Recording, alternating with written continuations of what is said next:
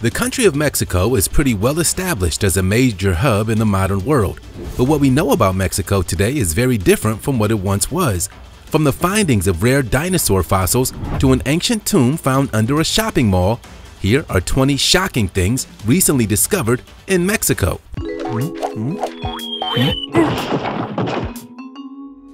Across the sea and underground, Shipwrecks are in that sort of strange category where they'll either be recovered quickly after being destroyed or simply left to wander the depths of the ocean until they're stumbled upon by some brave seafarers.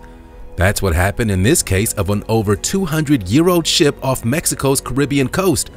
The ship is thought to have originally hailed from England around maybe the 18th century, although most of its historical evidence has been lost to the tides of nature by now. But the discovery of this tomb isn't the only thing that has archaeologists surprised. Another finding came to light just after about a 1700-year-old tomb in Mexico.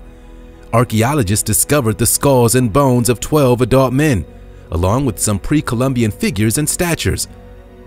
These kinds of finds are extremely rare because most of the time someone else has already gotten to them. Whether it's under the water or below the ground, it's unusual for no one else to know about them while still finding anything of value left intact. One of the archaeologists even made a remark about the find, saying that the fact that the tomb was untouched allowed us to have a first approach with the bone remains, to observe the lesions, deformations, and to have more information to know what their way of life was. So, being the first on the scene really is crucial. Maybe we should have someone check out the skies for any lost floating cities next. Now hmm. let's get ready for hmm. today's missing topic. Would you climb into the mouth of a giant lizard or back out before anyone could stop you? This drone made an incredible discovery after flying above an island in Mexico. There are actually around a hundred different islands on the Mexican coastline, each with different sizes and sights, But this isn't one you'd see on just any regular day. Although it's more of an islet or a tiny island, this one belonged to a private party that seemed to be having a great time on their own. The drone might have stumbled onto something greater than they expected. But what is it that we're looking at here? It looks like a giant alligator, except the snout is too short. And are those bindings holding it down against its will? The creature looks almost man-made, but also surprisingly detailed the longer you look at it. There are also some attractions based on the characters from the Pixar movie Cars behind it, so maybe this is just a custom designed inflatable birthday bouncer. That might just be too obvious of an answer. For starters, there's nothing to bounce on. Unless you want to try jumping inside the dark pit of the monster's stomach, if you compare the size of the people next to it, you'll realize just how huge it is. So, we're kind of stumped about what it could be or what its use is. So why don't you guys take a shot at it? Let us know in the comments what you think this is, what it's made of, and what are they actually using it for? Respond below with the hashtag missing topic and we'll figure this out. Hey, hey, did you know that if you smash the like button, subscribe, and click the notification bell, you're more likely to win the lottery? So what are you waiting for? The City of Gods. The City of Gods may still be eluding adventurers to this day, but the City of Gods has been here in plain sight. Behold, the pre-Hispanic city known as Teotihuacan. It's recognized as the holy city where gods were created and can be found 50 kilometers or just over 30 miles northeast of Mexico City. It was a great Mesoamerican culture at the center of trade, religion, politics, and economics that had influence as far as the distant city of Tikal. In 1987, it was listed in UNESCO's World Heritage List and started bringing in more attention to their former way of life and culture. The city was built way back between the 1st and 7th centuries after the start of the Common Era and is currently most well known for their huge monuments. The pyramids of the sun and the moon are the biggest. The structures have even been laid out on geometric and symbolic principles, providing their advanced ideals way before they were considered savages by foreign invaders. The central road of the city is known as the Avenue of the Dead and connects all of the main buildings with a width of 130 feet and a length of one and a half miles. At the end of it lies the sacred peak of Cerro Gordo at the Inyo Mountains. The language and origin of the original people is still lost to the ruins and artifacts yet to be found, but we know that changes in the culture started with refugees from Cuicuilco, a city destroyed by an active volcano. From there, it's all downhill. but maybe eventually we'll know more about their former glory. Temple of Quetzalcoatl. Have you ever heard of a feathered serpent? As weird as it may sound from a modern perspective, the ancient Aztecs might have been onto something with their belief in the Quetzalcoatl. Scientists have argued that dinosaurs might be related to a more feathered species, namely chickens, but if that were the case, a serpent covered in feathers could also be a real plausibility. It would make sense then that this pyramid, also called the Temple of the Feathered Serpent, was such a hotspot for research and archaeological discoveries. It can be found at the southern end of the Avenue of the Dead that we mentioned before. From there, once you deep dive into the core of the temple structure, there's a massive burial pit with the remains of at least 200 warriors and weapons. The majority of them were found with bindings on their arms, meaning they were probably sacrificed to the idea of a powerful god. Although there could be more to that story, the site itself measures in at 32 square miles, or around 83 kilometers, and was originally referred to as the place where men became gods.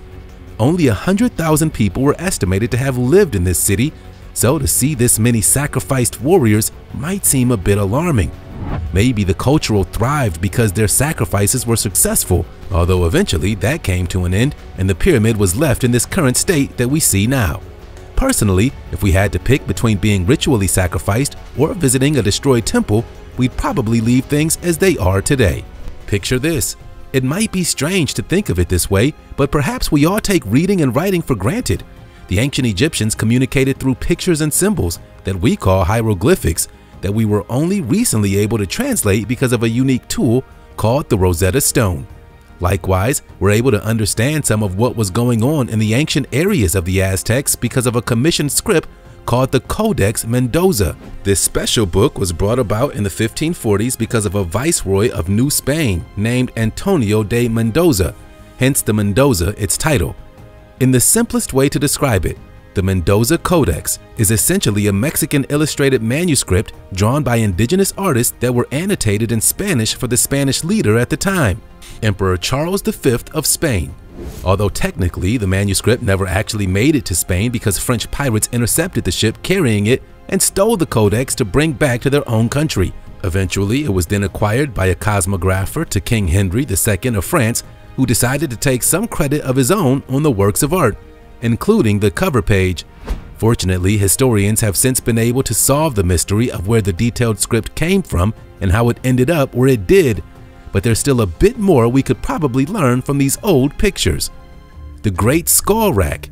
If Halloween season is your favorite time of the year, you'll probably get so used to seeing abandoned skull heads that you forget they were supposed to have belonged to a living body. The skull rack of the Great Temple might do a good job of reminding you, though, it was once known as Tzompantli to the former Aztecs, and it was only recently uncovered, hidden in Mexico City. This newly found section had 119 human skulls, bringing the final number of skulls and the whole structure to over 600. The original purpose of this crazy rack served three simple yet distinct reasons for existing that probably wouldn't fly over well in our modern society. For several of these Mesoamerican civilizations, it's believed they were meant to honor the local gods, likely as the leftovers for ritual sacrifices. They were also a type of public display so that anyone who wanted to remember or honor their sacrifice could still look upon their remnants like a morbid version of a cemetery or memorial wall. And finally, the skull racks were supposed to showcase the power and military might of the area's empire. Apparently, a display case of your own dead civilians is pretty intimidating to enemies and allies alike, Supposedly, archaeologists from Mexico's National Institute of Anthropology and History believe that there are actually seven other relics like this one that once existed in Aztec culture. They also say that the Mesoamericans of the time viewed their sacrifices as a way of keeping the gods alive and not letting our known universe be destroyed. Hopefully, they weren't right because it's been a while since the rack has been updated. Maze of the Mayans. Corn is pretty popular. Well, that might be a bit of an understatement considering how many foods and cultures rely on corn as a staple food source, like with cornbread or corn on the cob, or what have you, but the Mayans seem to know how to appreciate these clusters of kernels. For the various Mesoamericans of the time, the maize god was considered to be a fan favorite deity, especially in the golden age of the Mayan Empire, also known as the Classic period. Sources have pointed out that the earliest representation of this god of corn appeared in early classic Maya and was later known as the tonsured maize god. The images that depict their savior were almost always of a young man with a type of stylized maize on the top of his rather long head. His own being was meant to represent mature and fertile maize, which was obviously a crucial part of the civilization's culture. This particular limestone statue of the Mayan maize god was found in Copan, Honduras, and was likely built in 715 CE. It was one of eight statues commissioned by the 13th ruler of Copan, a man who sometimes went on by the nickname of 18 Rabbit. What's interesting to note, however, is that the Mayans didn't seem to use any metal instruments for any of their construction projects. So instead, they used tools made out of flint, obsidian, granite, jade, and quartzite, so these stone statues are fairly unique in that regard. Limitations breed creativity, as they say. The girth of a Mexican tree. In some cases, bigger really is better. Just look at this big fellow who was designated as the National Tree of Mexico, also known as the Tree of Tule or Arbol de Tule. It was first given its official title in 1921, but later confirmed on the records as a national tree in 1924. You can find it in a church courtyard within the town of Santa Maria del Tule, which is where the tree gets its root name. It's a type of evergreen, which stems from the term meaning water drum or old water. Trees like these were an important part of pre-Hispanic Mexican culture that prepared their different parts for medical uses and functions. The bark, for example, was an astringent meant to clear up burns, scars, and skin ulcers. The resin, leaves, buds, stems, and even the fruit and bark were also vital for all sorts of common conditions that we take for granted today. Even the wood was a great tool for construction. Consider the wood was highly resistant to rot perfect for building a canoe or some other outdoor furniture projects. The tree in particular has yet to be torn down, but has served as an amazing landmark throughout its 1400 years of experience. The measurement of its circumference is around 42 meters, or at least 30 people holding hands in a circle. But what's really impressive is that it has that much girth while only reaching up to 116 feet, especially when compared to the tall oak, redwood, and sequoias over in California and supposedly it's still growing. Vacation destination. If you need a break from your stressful day-to-day -day routine, why not stop by Chiapas? It's one of the 32 federal entities of Mexico with a gorgeous mountain range and lush rainforests. The capital of this southern Mexican state is also the largest city in the area called Tuxtla. In the distance, the Lacandon jungle can be reached and has had a major effect on our planet through oxygenation meaning it delivers more oxygen to the rest of us than most other plants. The jungle is also a major host to hundreds of diverse species, including butterflies, reptiles, plants, and mammals that can still be seen in their natural habitats. Off the coastline from the Pacific Ocean are the Mayan ruins and an incredibly gorgeous view.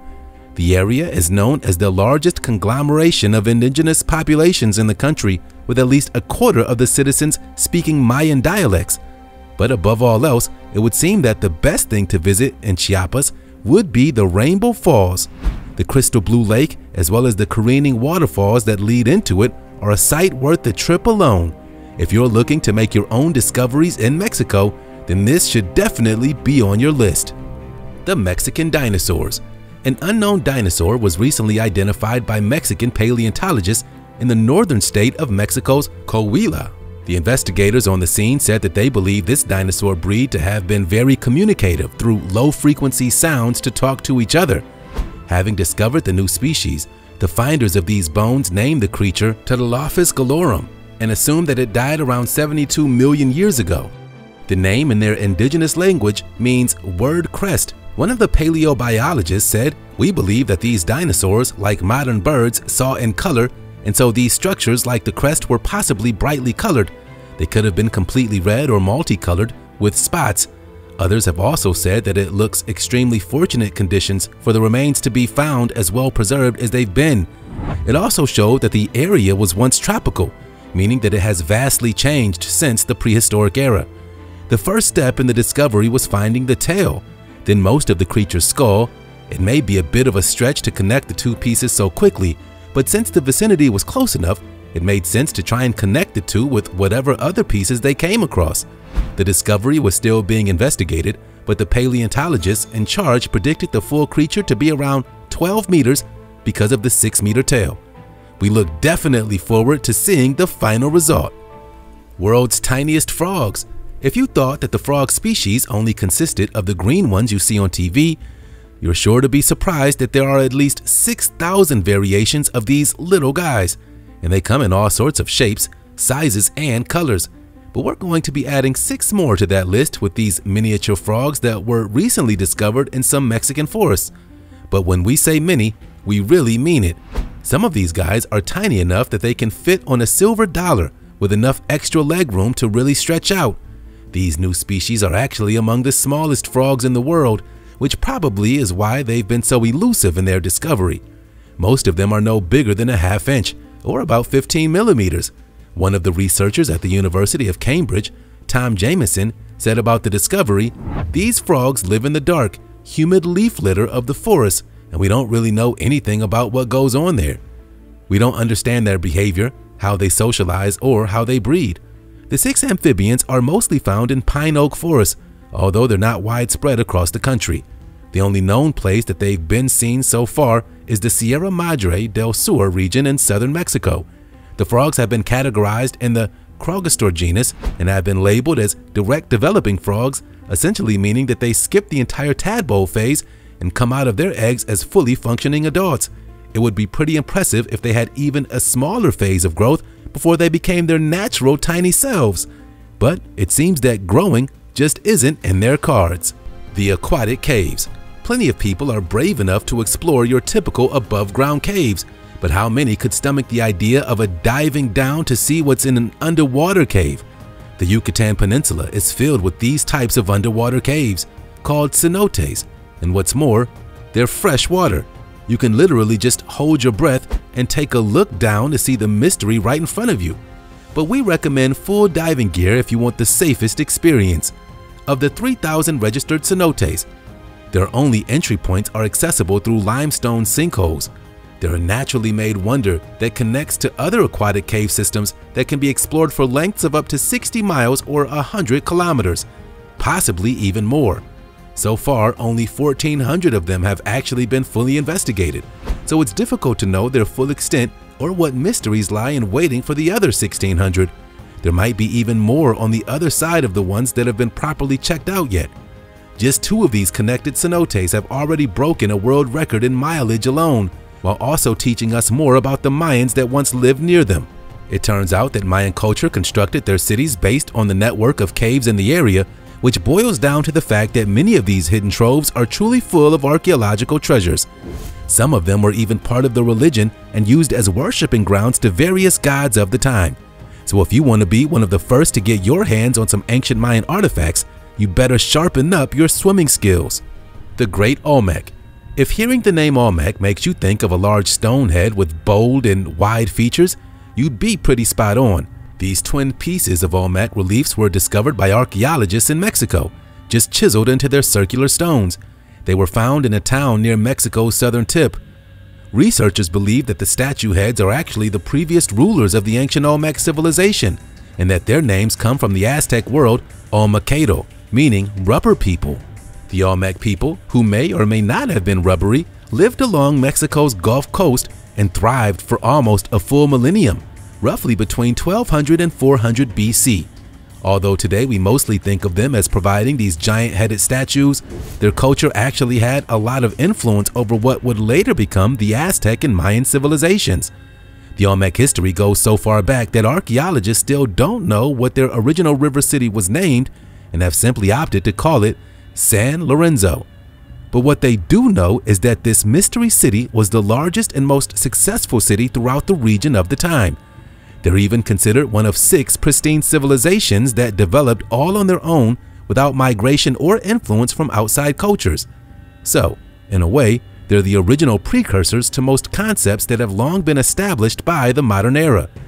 There's still a good number of mysteries surrounding the people, their ways, and what these giant head carvings were meant for, but it will probably take a good while before we get to learn anything else about them. Until then, we can at least appreciate their classic aesthetic. Mayan Tulum The Mayans had a pretty decent run for as long as they did.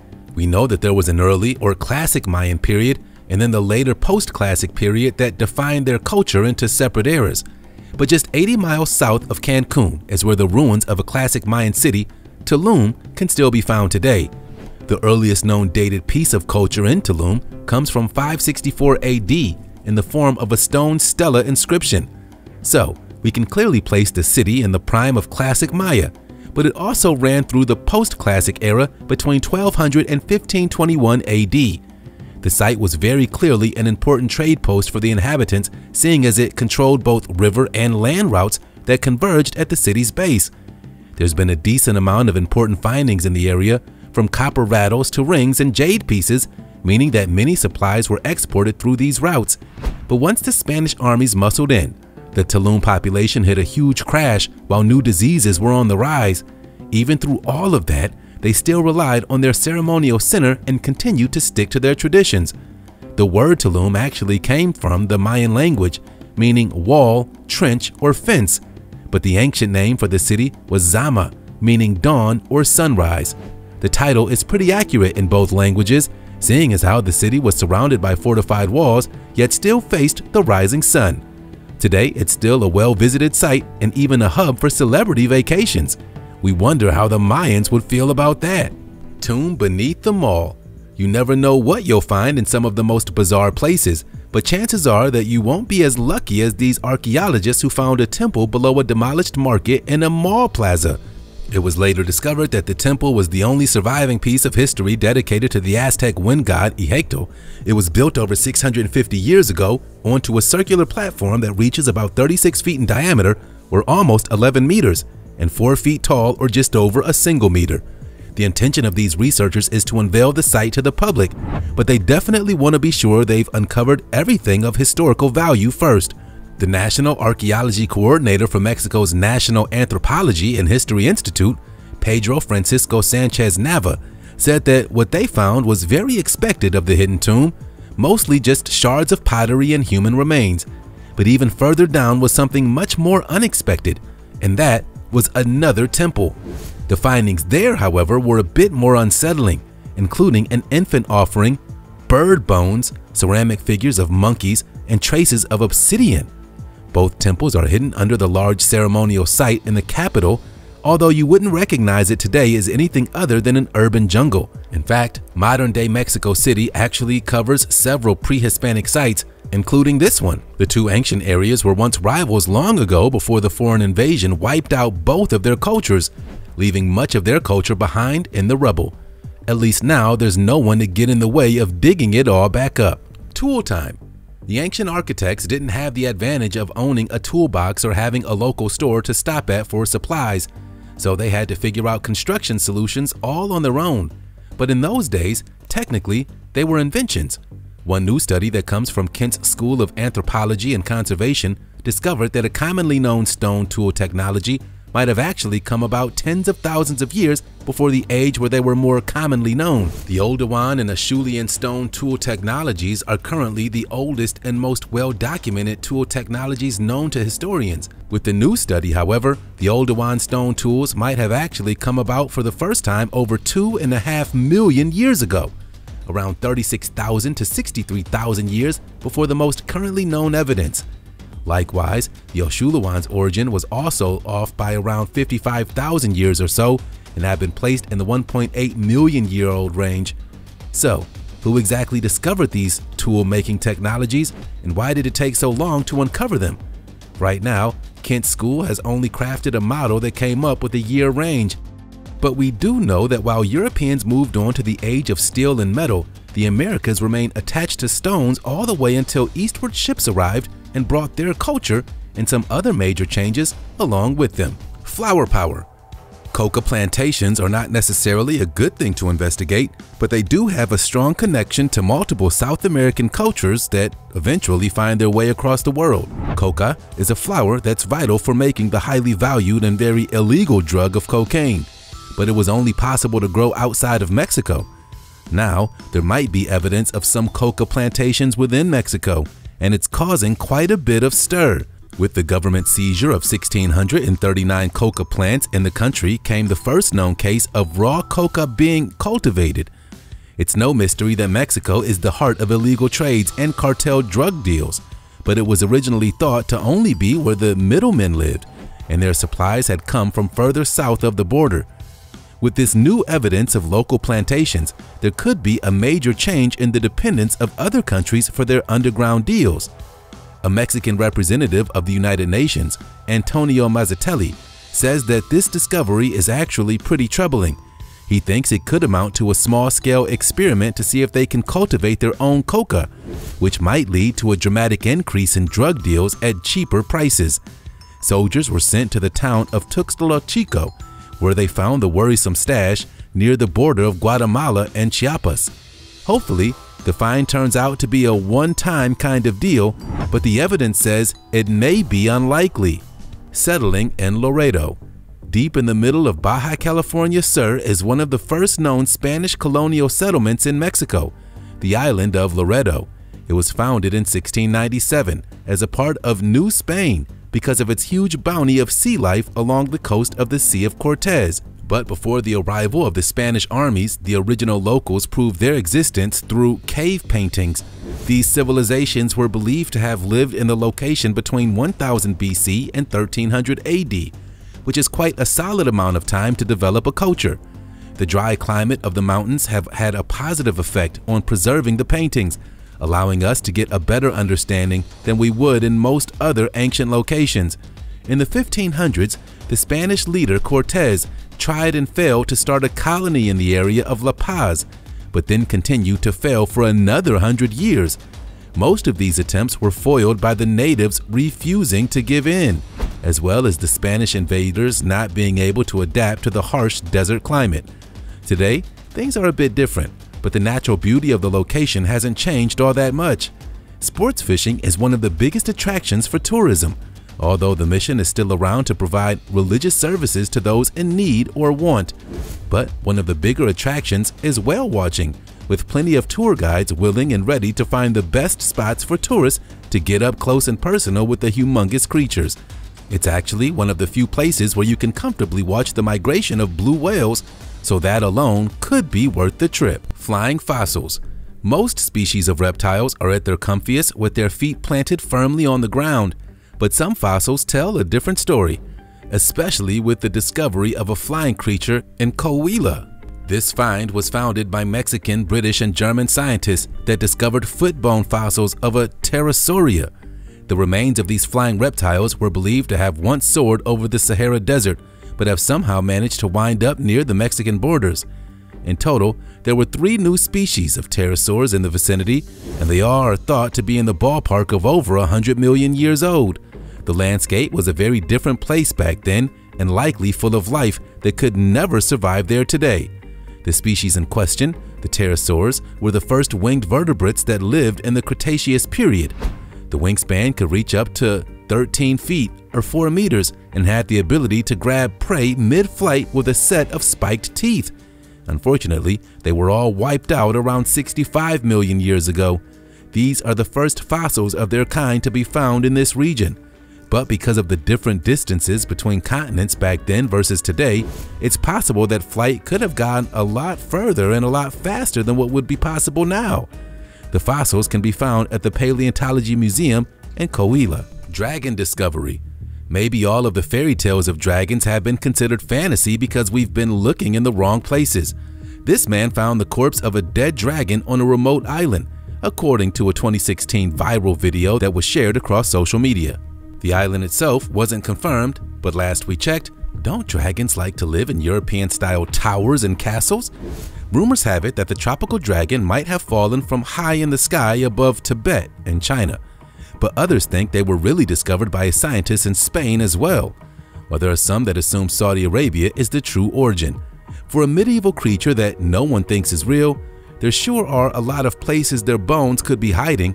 Many viewers had their doubts, but many more also thought the details were too realistic to be faked. They theorized that the dragon was actually from another world that crash landed on an island in Mexico. Could that be the origin of our missing topic? It's unlikely. this creature has a lot of inconsistencies that just don't add up to the facts.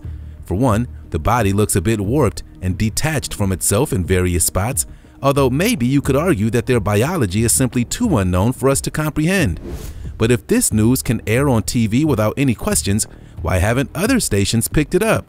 The truth is that the channel that aired the show, called Cuarto Milenio, which translates to fourth millennium in English, admitted to preparing a model dragon in place of a real one. They even released a video describing how they did it. Two of a kind. Two heads might be better than one, but when it's on the same body, it could be considered a crowd. These twin conjoined whales were discovered on the Baja California Peninsula in Mexico by some fishermen who definitely did not expect the unexpected that day. The species of gray whales were caught alive as just infant calves but died not too long after their birth. It is especially common for most conjoined creatures to have a shorter lifespan. The situation is especially harsh in the wild because of their unique situation and lack of accommodations. A marine biologist named Benito Bermudez said that the whales were discovered alive in the Ojo de Liebre lagoon, but only survived for a few hours. They were connected at the waist with two full-sized heads and matching tail fins. While some cases of conjoined whales have been studied in the past, this was the first case of gray whales, so the local research and science teams jumped at the chance to investigate the unfortunate carcass. Scientists gathered various samples of skin, muscle, and baleen, a type of filter feeder system, to help along with their newfound research purposes. Maybe some good will come out of it. Mexico might have a lot of different reputations, whether it's for their beautiful landscapes, their fascinating historical developments, or maybe some more controversial topics that we've already discussed. But they should be known for their amazing discoveries as well. Who knows what else lies in the mysterious country of ancient civilizations and modern wonders? But we plan to find out.